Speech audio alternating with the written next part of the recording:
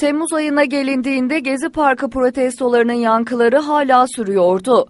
Ayın ilk günü mecliste gündem dışı söz alan Milliyetçi Hareket Partisi Elazığ Milletvekili Enver Ertem, yaşananları çalışanın hakkının verilmemesi sonucunda meydana gelen ilahi bir gelişme olarak niteledi ve hükümetin 100 bin personeli kadroya alma çalışmalarına gönderme yaptı. Milletvekili Erdem 4 Temmuz'da ise sözleşmeli personellerin akıbetini Çalışma ve Sosyal Güvenlik Bakanı Faruk Çelik'e sordu. Enver Erdem'in 6 Temmuz'daki meclis konuşmasında ise iktidarın personel istihdamındaki yanlış uygulamaları ve Elazığ Belediyesi vardı.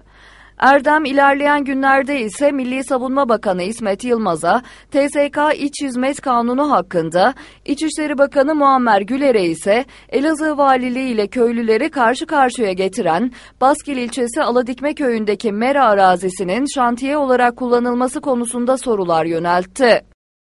5 Temmuz Başbağlar katliamının 20. yıl dönümüydü.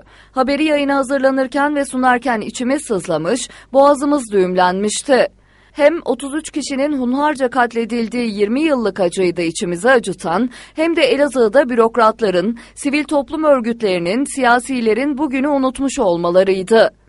Hatırlayıp o gün mesaj yayımlayan sadece MHP Merkez İlçe Başkanı Abdülvahap Erdem, Milletvekili Şuay Alpay ve Eğitim Birsen Birnoğlu Şube Başkanı Yasin Karakaya olmuştu. Temmuz ayı milletvekilleri için oldukça yoğundu.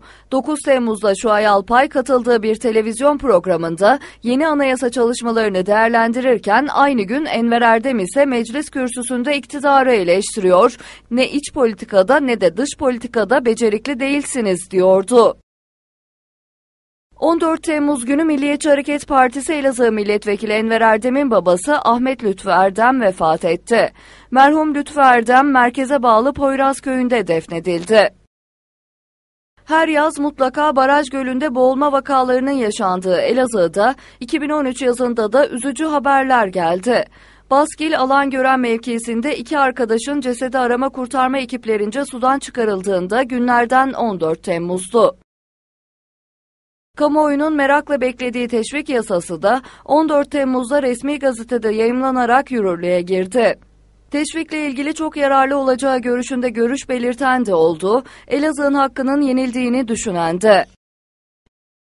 Meclisin tatile girmesinin ardından milletvekilleri de seçim bölgelerine dağıldı. CHP milletvekili Ali Demirçalı ise seçim bölgesi olan Adana'dan önce memleketi Elazığ'a geldi. Demirçalı AK Parti ve MHP il teşkilatlarını ziyaret ederek Elazığ'a hizmet için birlik olalım mesajı verdi. 18 Temmuz'daki Bakanlar Kurulu kararı Elazığ'ın Cumhuriyet Mahallesi'nin riskli bölge oluşturduğunu resmileştirdi ve kentsel dönüşümün bu alanda acilen uygulanması gerektiği sonucunu ortaya çıkardı. Ancak aradan geçen 5,5 ayda mahallede herhangi bir çalışma başlamadı. Meclisin tatile girmesiyle Elazığ'a gelen milletvekili Şuay Alpay köy gezilerine çıktı. 22 ve 23 Temmuz'da Korucu, Koçkale ve Karasaz köylerine giden Alpay hem köylülerin taleplerini dinledi hem de çözüm sürecini anlattı. Alpay 26 Temmuz'da ise Yurtbaşı beldesi ile beldeye bağlı köylere gitti. Okullarda kıyafet serbestliği olarak bilinen yönetmelik 25 Temmuz'da yürürlüğe girdi. Yönetmelik bir önceki eğitim öğretim yılında gündeme gelmiş ve daha resmiyet kazanmadan neredeyse tüm okullarda ipin ucu kaçmıştı. Uygulama yasalaşıp okulların kıyafet tercihi okul idaresi ile velilerin ortak kararına bırakıldıktan sonra ise birçok okul ve aile tek tip kıyafeti tercih etti. Elazığ'ın Palu, Karakoçan ve Kovancılar ilçelerine doğal gaz verilecek. Yazıkonak, Yurtbaşı, Akçakiraz ve Molla kendi beldelerinde ise gerekli ön abonelikler yapılacak. İl Özel İdaresi 26 Temmuz'da bu açıklamayı yaparken bizler de şaşkınlığımızı gizleyememiştik.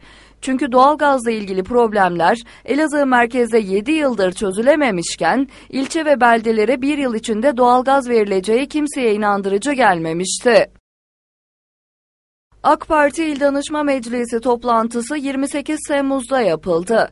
AK Parti Genel Sekreteri Haluk İpek'in de katıldığı toplantıda yapılan konuşmalar çoğunlukla Mısır ve Suriye'de yaşanan gelişmeler ile terörle mücadelede yeni yöntem olarak adlandırılan açılım süreci üzerineydi. Ancak toplantıda açılım sürecinin aslında yakın bir tarihte başlamadığı, AK Parti'nin iktidara geldiği 2002 yılında startının verildiği bizzat AK Parti Genel Sekreteri Haluk İpek tarafından açıklandı.